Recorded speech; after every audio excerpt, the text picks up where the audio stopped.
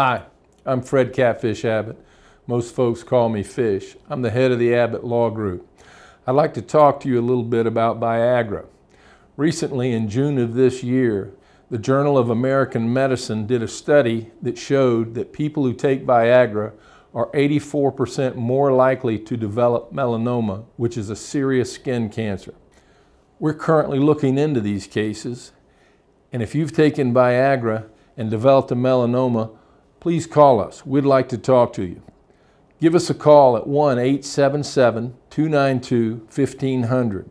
We look forward to hearing from you. Thanks.